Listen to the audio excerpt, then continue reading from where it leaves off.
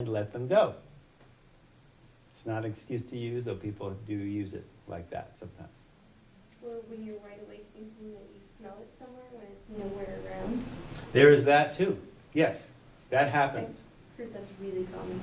Yeah.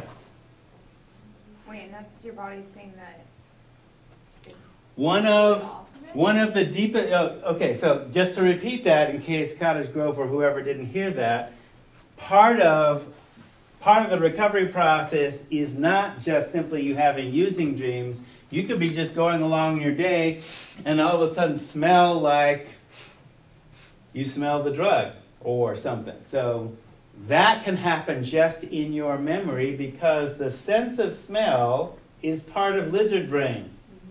Okay, it is one of the oldest senses that we have, and boom, yeah, you can have a um, olfactory hallucination. Olfactory meaning smell. You smell certain things. Now, I'm a drug counselor, so I'm like cynical and suspicious. Is also just as likely that somebody around you is on meth and you can smell them. You have a characteristic detoxing smell, not you, but them. There are enough people walking around where I've, ugh, right? I've been in groups before where one person smelt it and nobody else in the entire group did, and they'd all done it before. I mean, Yeah, it's like a, I mean, okay, I've personally experienced it. yeah, You're just walking along and something triggers the feeling of, like, I smoked pot and I was like 19 for like Yeah. a whole year yeah, and got a really good job, and so I obviously stopped. yeah, And um, I don't know what triggered it, maybe like boredom or whatever, but I suddenly smelt it like everywhere and nobody around me. I was mm-hmm. like smelling pot for like, I'm like it's so strong, like Yeah. you can't smell Right. that. right, Nobody smelt it, and right. and then I'm like, okay, I did have a stressful day, maybe. I- Could be. Just so Or, or you walked by a particular strain of azaleas. I mean, that also happens too, where you know it smells like bud. But that's not Yeah. the first time I've Yeah. heard it, you know. But yeah, people can have olfactory hallucinations, auditory hallucinations, flashbacks can happen. Fla- basically, their memory, right? And who knows what triggers them? We're not sure. You know.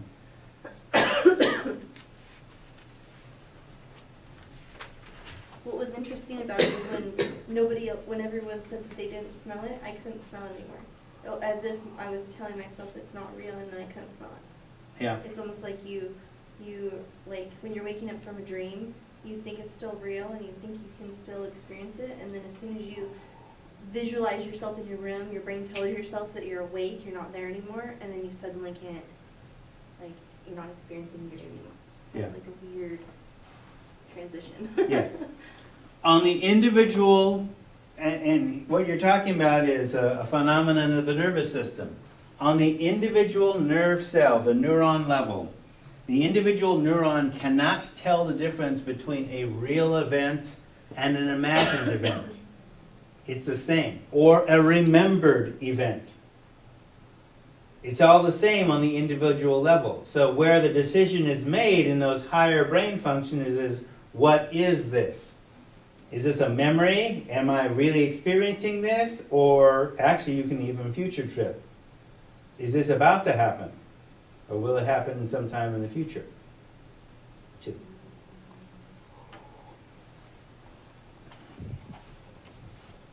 What part of the brain can't tell that?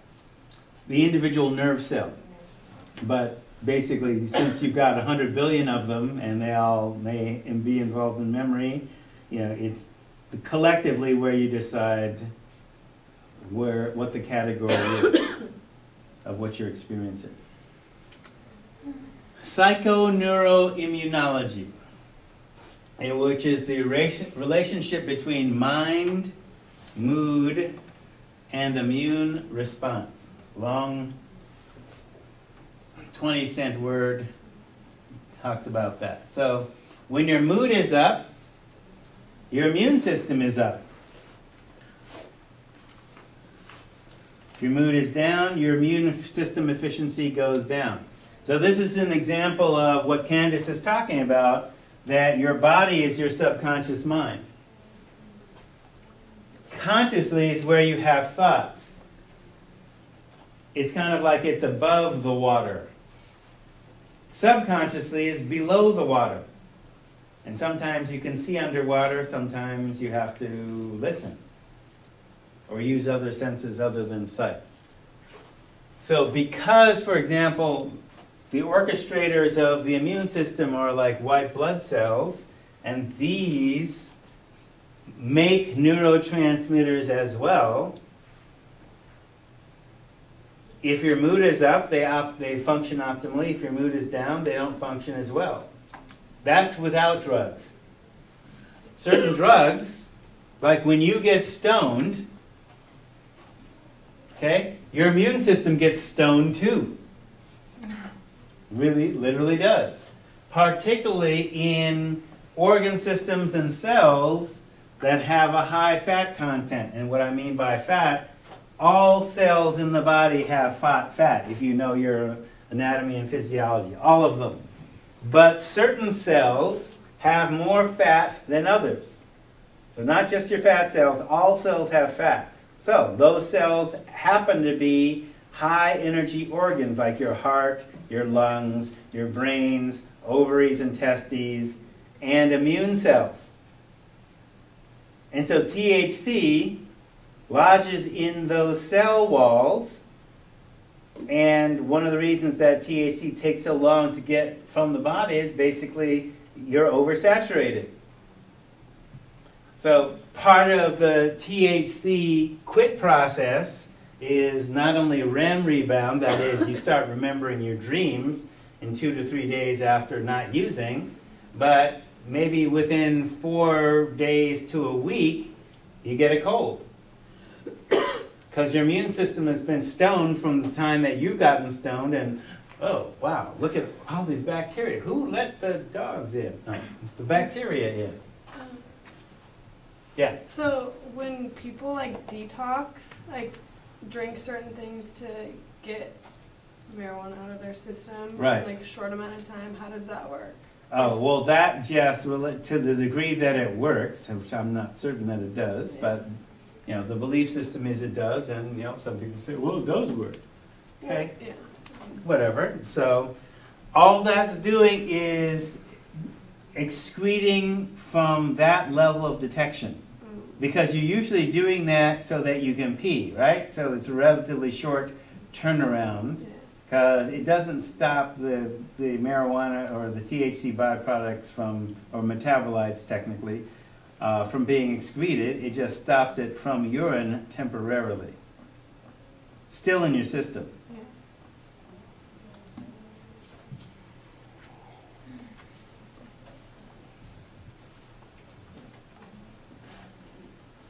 So, immune system response is affected by drug intake, in particular, certain mind or mood altering chemicals. Marijuana is only one of them. but others too, depending on how toxic they are. Right? Your immune system response is assisted by fitness, exercise, and emotional, mental, and spiritual exercise, including uh, meditation, crossword puzzles, you know, flexing your brain muscles, sitting down, being still. So that's why in uh, recovery systems, a holistic recovery says, okay, hydrate, you know, at least a gallon of water if you weigh 200 pounds. What is it? The formula was uh, half your body weight in ounces. So if you weigh 200 pounds, then 100 ounces, which is a little less than a gallon.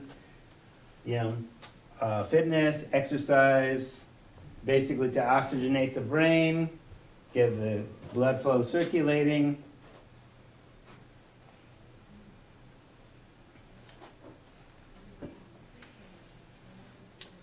So, for example, the food moods are coming in. After tracking what I put in my mouth, I'm reminded of the importance of mindful ingestion.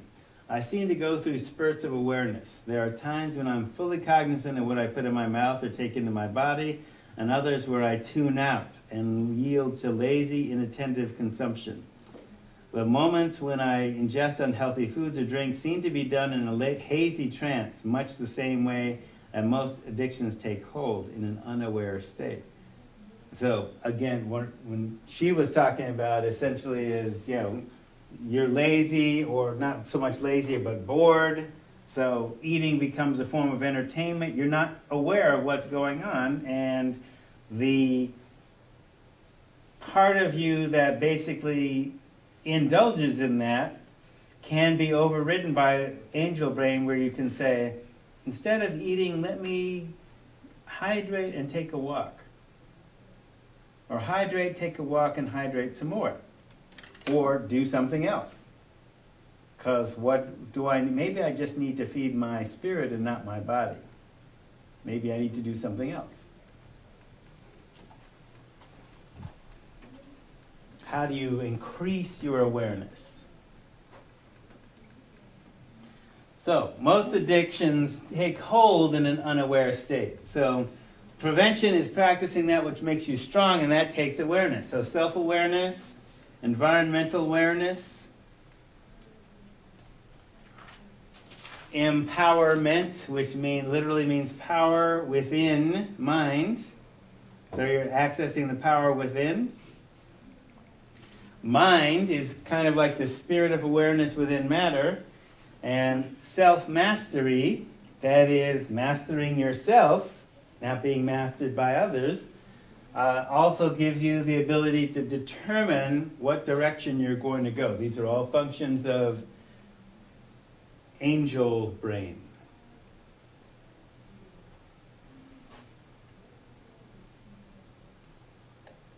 So when we talk about why teaching self-mastery, so it's a condition that leads to freedom or liberation in any circumstances. So liberation from fear where fear stems from ignorance of yourself. So, for example, one client once said, First they break your wagon. She's talking about her inner child, right?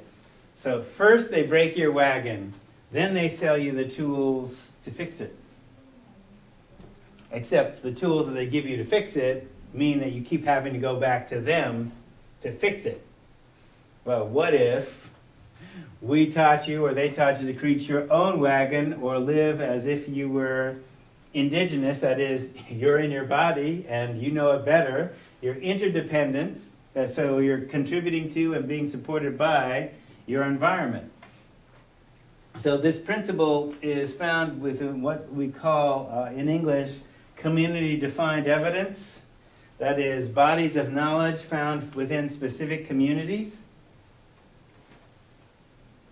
right? That may not be studied by universities or governments, but are just part of communities that have organized and uh, remain separate from that. So, as an example, when I was showing you bonobos the other day, and that our genome most closely matches bonobos, particularly in the link in conflict resolution that is resolved by orgasm chemicals, creating bonding or resolving conflict.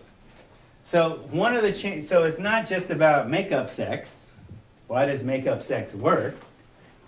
But on the other hand, how can sex become addictive?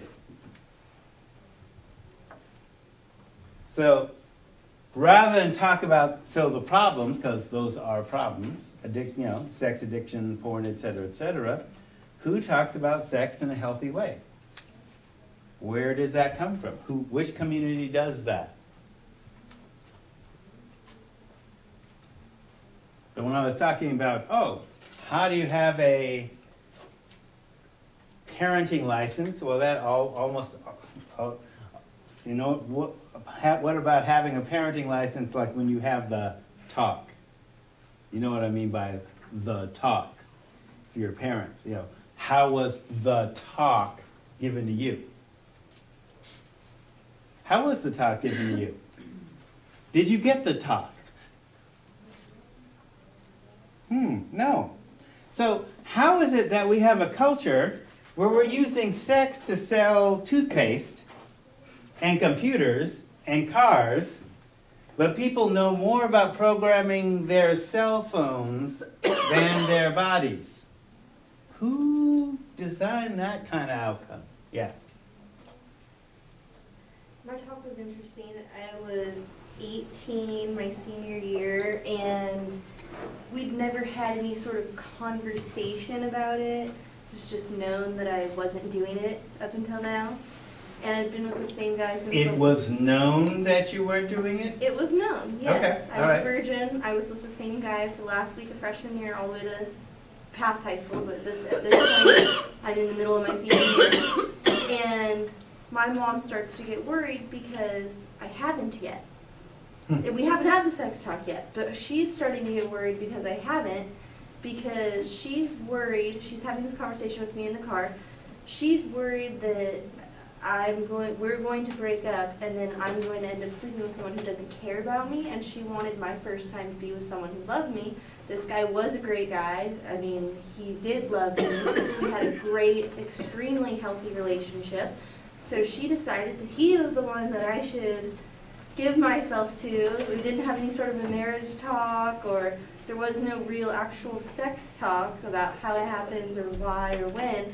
She just basically started going into how I should maybe start considering it, and then I had to finally stop her and say, well, I did, rec- I, I already did. Like, it had happened like within months of this talk before.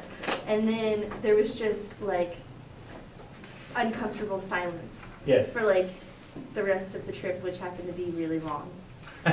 And then we just never spoke of it again until eight months later when she just all of a sudden started asking me, You don't do it in the house, do you? She You've never done it in my car, have you? Well, where do you? Never mind, I don't want to know. By the way, mom, we're moving out together the, the, the school year. I mean, it was very awkward. I had multiple conversations my entire growing up about basically don't go anywhere by yourself or you're going to get raped sort of Mhm, talks because mhm. obviously Mhm. she'd had bad experiences, we'll call it. We had many women's intuition conversations from the time I was so little that in my kindergarten class, all of the girls were molested by me because I We're what? molested. Yeah. I told my mom my teacher looks at me funny. She assumed I meant my female teacher, and really it was my school bus driver coming and molesting all of the girls but me. And so I had women's information about people and circumstances and gut going off your gut. We talked about that my whole life, but sex itself was never even talked about till after I already did it. Yeah. So it was interesting. And if you've compared notes, how common is that experience? What's that? If you've compared notes with other women, how common is that experience? Um, pretty common. Hmm. And I mean, well, my dad wasn't in my life a lot, but he, when I was around him, he would tell the most vulgar stories I've ever heard in my entire life, with full knowledge that I was in the room. Sometimes directly, not about me or about sex directly talking to me, but they were just disgusting and vulgar. So I had both sides of the spectrum. My dad never had the talk with me either, but he was just so incredibly crude. I'd heard so much, and my mom was so incredibly prude. I just didn't understand how they were ever together, for one thing. I mean, so it was So definitely two, two poles of the, of the, of the spectrum, crude and and my prude. mom was pregnant with me at graduation, not showing, but she was pregnant. And so I think it was my senior year, and she started to, you know, Yeah, graduation was coming, and she was pregnant at hers. So right.